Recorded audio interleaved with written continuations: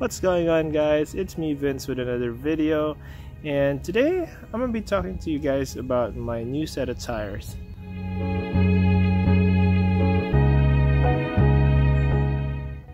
So these are actually the Nitto Ridge Grapplers. It comes in a size of 285 by 70 by 17 which is pretty much the same size as the ones I used to have which are the KO2s. Um, those ones I've had for about I would say half a year. Um, the reason why I got those is because they were so popular back then. Um, it looks really nice, don't get me wrong, and it performed really well as well. But it got to a point where it's so popular that everybody has them already. And if you guys know me, uh, I try to build my uh, my my truck as unique as possible. I know everybody. I mean, some people has the ridge grapplers as well but they're fairly lesser people who has them compared to the KO2s um, so I wanted to test them out and I've only had them for like a month I've taken them to Anza Borrego which is like a sandy desert and I've also went to Cleghorn with these tires and during those times I, it was actually performing really well. Um, I was so surprised since these are only the standard load. Um, it's it's lighter and it has lesser protection to be honest. I think it's like a four ply tire. Um, so I was a bit scared going through those trails but after going through them it performed really well. Um, on road it's actually quiet as well.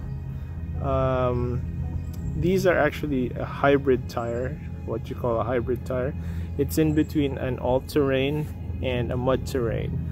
So I was surprised that I couldn't really hear any noise to be honest. Um, with the KO2s sometimes I would hear them humming but not as much you know.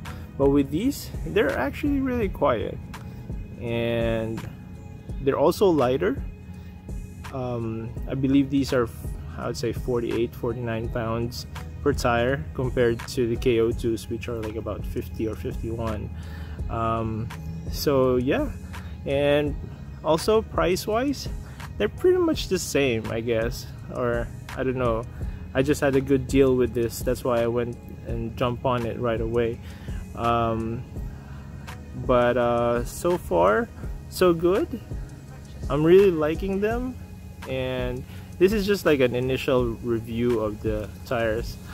Uh, I don't know maybe after a few months I'm putting up another review and see how it really performs over time.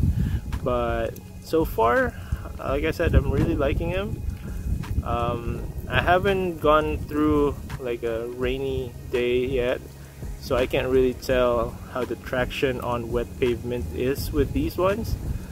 But yeah like I said I've been liking them so far. And that's pretty much it. Almost forgot guys. So just to show you how much I really like them I did a little something um, a little mod that I, I'm gonna show you guys right now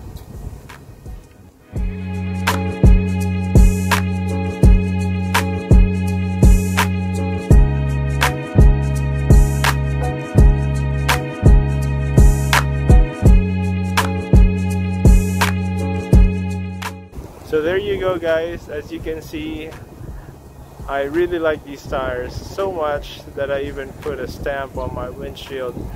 I am officially part of the Nitto family now. And again thanks for watching the video. If you guys like it please subscribe and feel free to hit that like button. And I'll catch you on the next video